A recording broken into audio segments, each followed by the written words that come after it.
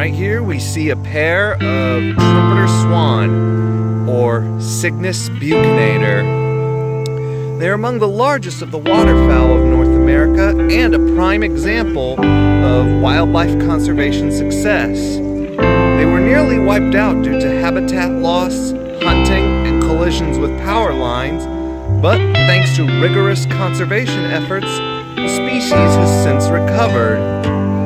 In the wild, they are mainly although the young may eat certain types of small crustaceans or frogs.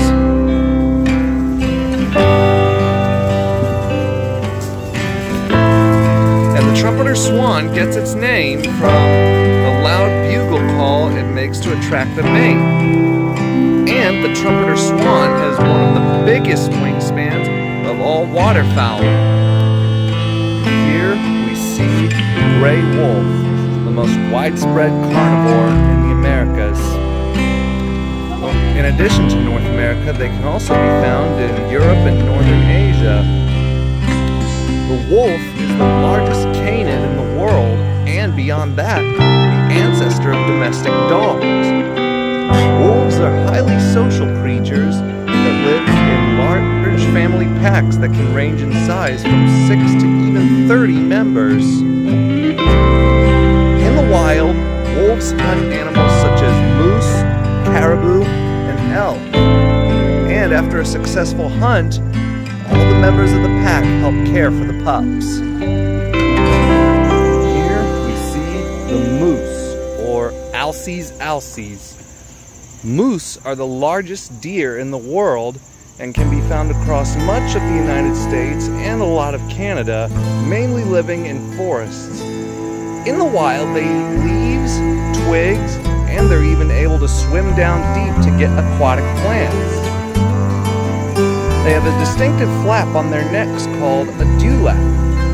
Unlike most deer, which live in herds, moose live alone except for mothers with calves. However, in the far east of Russia, moose are often called elk.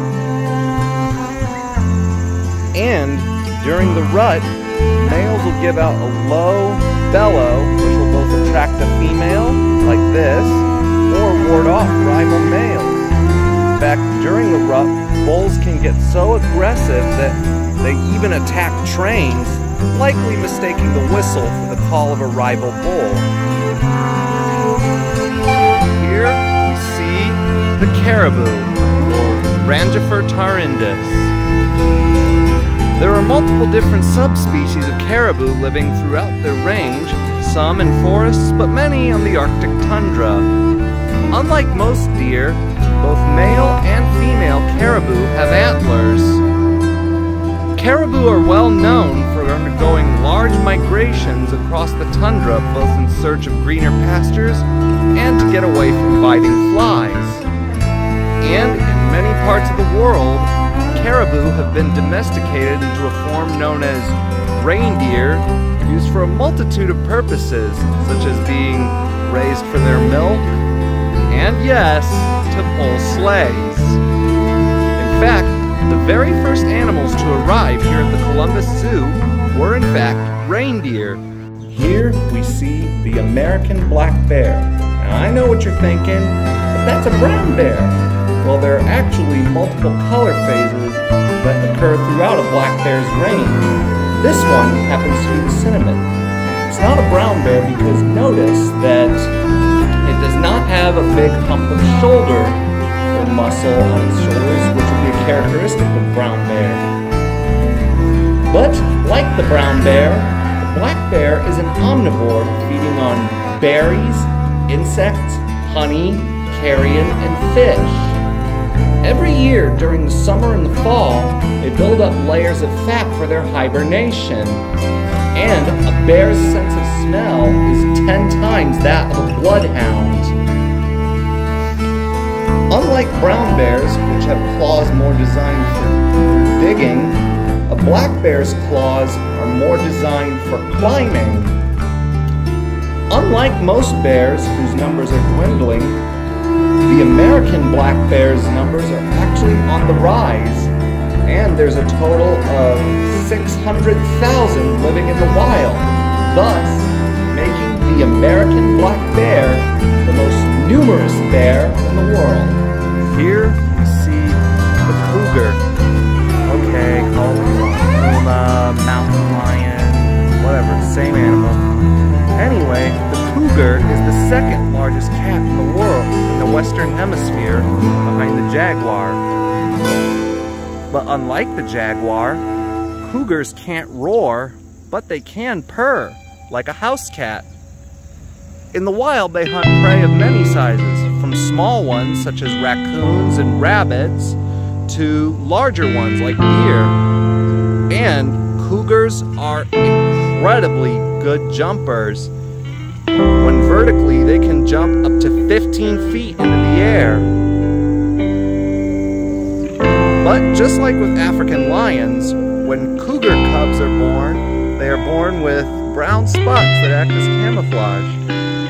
Cougars were once widespread throughout North America, but hunting and human settlement has reduced them to just the western states Marvel superhero, but here's the real life Wolverine or Gulo Gulo. Wolverines are mustelids, the same family as weasels, ferrets, stoats, badgers, and otters. They've often been called skunk bears because they have the same ferocity as a bear, and like the skunks, they spray foul-smelling musk, although in this case it's more to mark their territory. In the wild, they eat large mammals such as moose and caribou, and they eat carrion. They've even been known to drive bears away from carcasses, and yeah, and wolverines have among the strongest bite forces in the animal kingdom. They're even able to bite through meat that's frozen So that's one way of taking advantage of nature's freezer.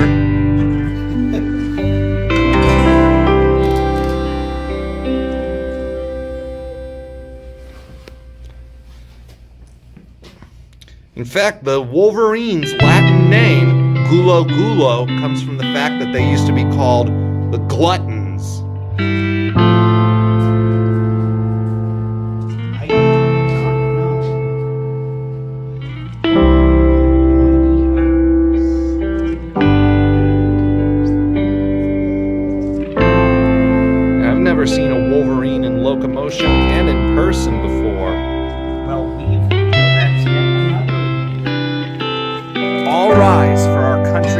National bird, the bald eagle, or Haliaeetus leucocephalus.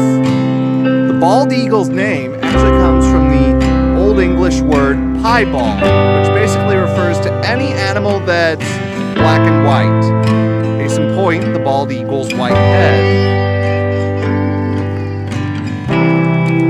Bald eagles belong to a family of eagles known as fish eagles and sea eagles, and the mainstay of their diet is fish, hence why they like to nest in areas near water.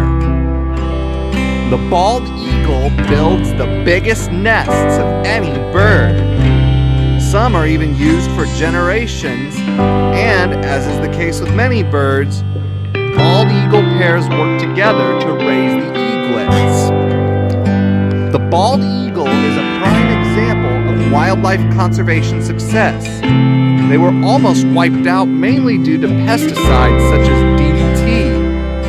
But thanks to rigorous conservation efforts such as the ban on DDT, the species has since recovered and has been removed from the endangered species list. For the most part, it's forbidden to keep bald eagles in U.S. zoos, with the exception of rescues.